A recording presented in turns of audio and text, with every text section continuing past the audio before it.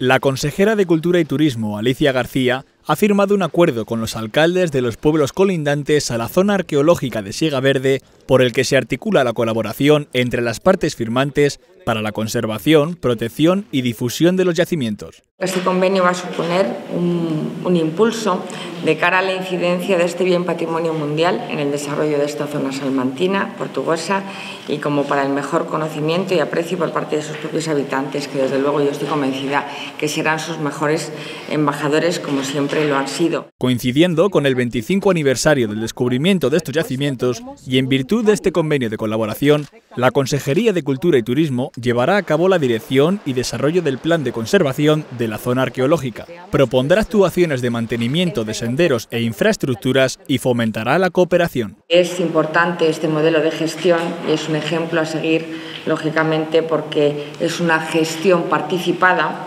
desde el punto de vista social y administrativo por los agentes sociales de la zona, a través de la Asociación de Desarrollo de Adecocir,